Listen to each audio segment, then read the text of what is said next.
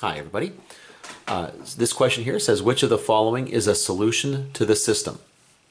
Okay, well, now, unless, unless this particular system here uh, is is inconsistent, has no solutions, or is consistent with infinite solutions, one thing I could do here real quick is just solve this system and just find out which one is, is which here.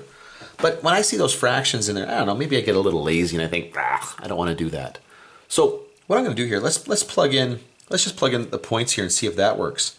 Plug in 6 and negative 6. Ooh, I get 0. Half of 6 is going to be 3. Half of negative 6 is going to be negative, sorry, a third, I should say, a third of negative 6 is negative 2.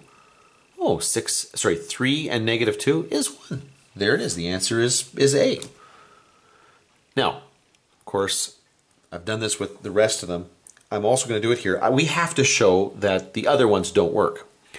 1 and negative 1 does make 0, but a half minus a third does not get you 1. It can't be this one. 0 plus 0 is 0, but half of 0 plus a, half, a third of 0 is not 1. It's not this one. Negative 6 plus 6 is 0, but a half of negative 6 is negative 3. A third of positive 6 is 2, and negative 3 and 2 is going to be negative 1, not positive 1, so it's not this one. So yeah, A was the only one that actually worked consistently.